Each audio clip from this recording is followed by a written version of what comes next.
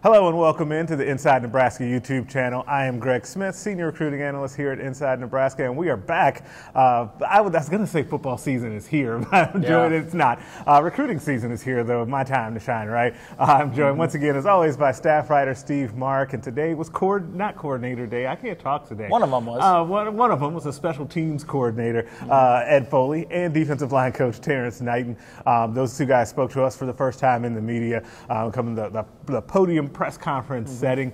Um, we, we got to hear a lot 26 minutes from Ed Foley, about 13 minutes or so uh, from Terrance Knighton. I guess, Steve, you, you get first pick where, where you want to go. What were your overall thoughts of the day? Well, it's got to be uh, Ed Foley and just the people person that he is. Um, the he he's really good at creating relationships, and um, I, I just think he's an excellent ambassador for when he's traveling across the state. We've all seen his social media posts. He's hitting up all the small towns it seems in, in Nebraska and, and um, doing work on that front. I think he's just a really good ambassador for the staff and, and what they're trying to build and create here at Nebraska. He's just a, a down to earth dude that I think a lot of people are going to enjoy um, watching and, and you know whenever there's a next whenever there's the next um, really good prospect in the state of Nebraska, I think Ed Foley's going to be one of the first ones to go say hi and everything. So I, I just think that um, you know in in Foley and especially Terrance Knighton too, people per, people um, um, persons. They're they're just very very good at what they do, and you know I, I just think that they're very good at creating relationships, and we saw that today when when they were talking to the local media.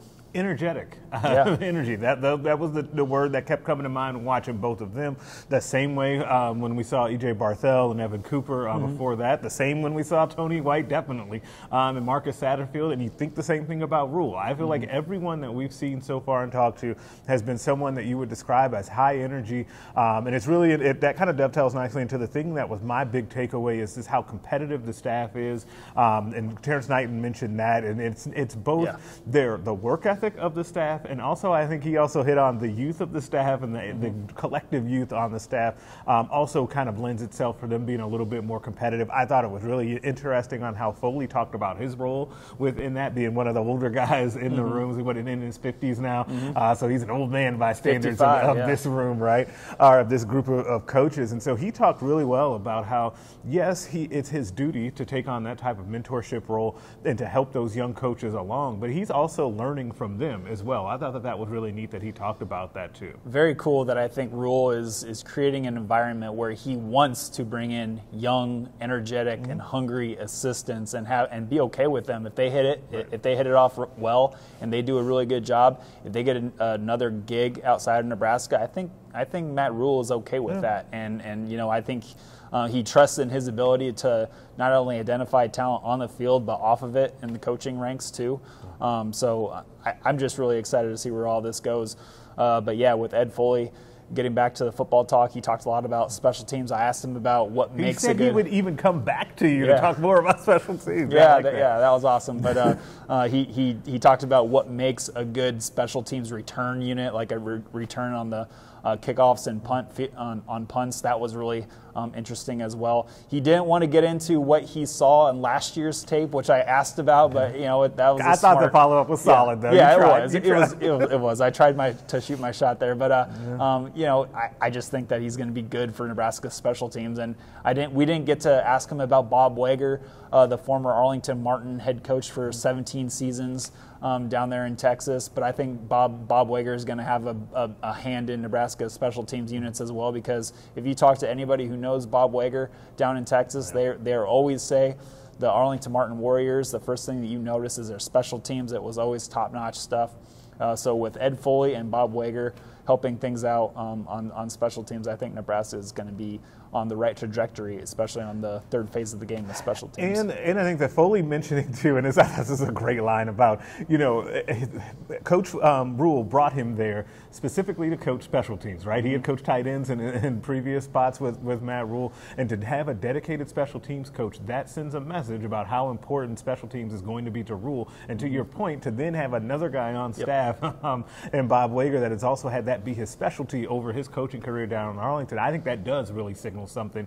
Um, there were there were a lot of actually really great lines. And more I think Yeah. about it, the one about um, he was asked um, Foley was about whether or not Nebraska would play starters on special teams. Mm-hmm. He said, "quote I like to stay employed, so I will do what coach wants me to do," um, and then gave an actually really great answer about Yeah. Uh-huh. how that would end up being broken down. I encourage you uh, to check out that full video right here on our YouTube channel. But he did talk uh, very well about that as well. But flipping over to Knighton real fast, one of the things that kind of stood out to me um, to, about him was his talk about recruiting, shocker here, um, and about his travels of going around and being able to pitch, having recently been in the NFL, both as a player and as a coach, and how important that is to be able to use as a relator, a relatable piece um, to guys, and how important that is to kids. Um, and I think that all of them have found, and they've all mentioned this to varying degrees, the assistants that we've talked to, on what it's like to recruit as a, with that Nebraska in on your chest. And that Yeah. Nebraska polo and hat hits a little bit differently than, say, Temple did when Ed Foley was at Temple. And you mentioned that a little bit. No disrespect to Temple, but he did talk about that a little bit. Yeah, I mean he, he's uh, born in born in New Jersey. He he's been on kind of the northeast side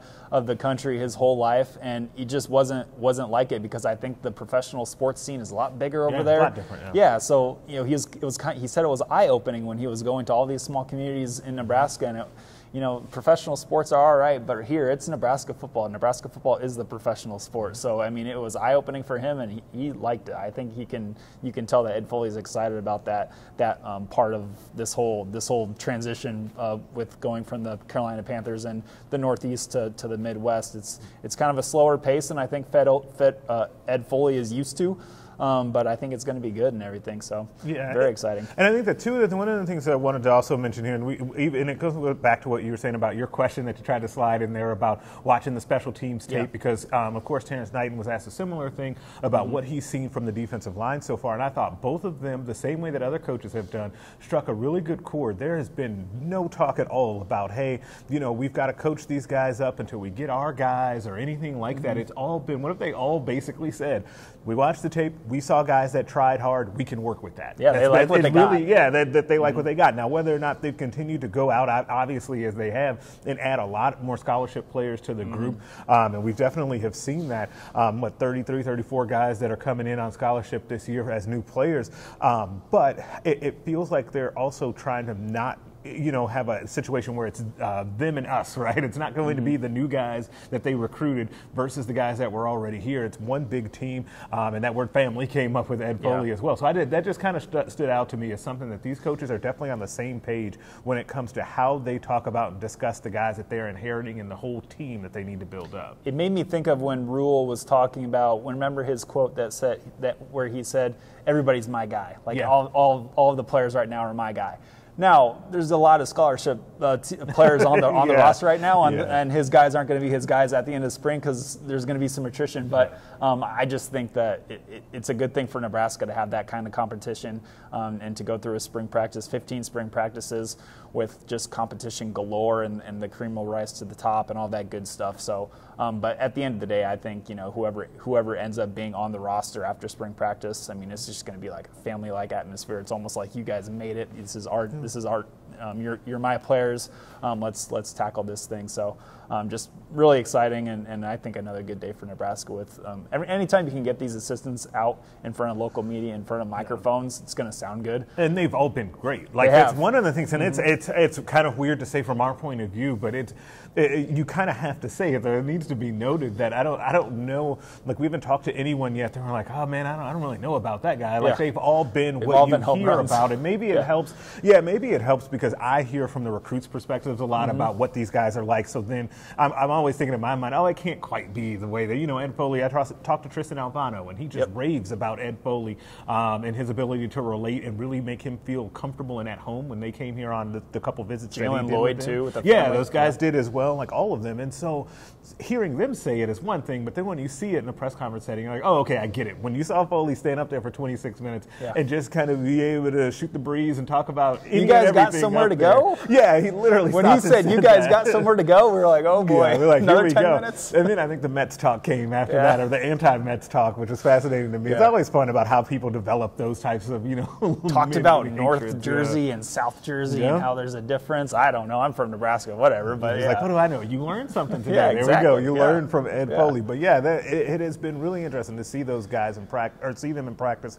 in front of microphones. And I think that seeing, we still got a couple left to go. So hopefully we get, you know, Garrett McGuire, Bob Wager is somebody I know the people on our insiders board um, have definitely been asking about. Mm-hmm. Oh, they yeah. want to hear from him. And I think a lot of people around the state want to hear from him, given his reputation, especially down in Texas with high school football. But we'll have plenty more to come with that. Um, we'll also have plenty more from today's events. Uh, Steve will have a, a deeper dive into what Ed Foley had to say. Got some stuff up on Terrance As well. Of course, uh, signing day is just around the corner in a couple days, so we'll continue to have more coverage of that as Nebraska looks to finish off the 2023 class strong, and we will catch you guys next time.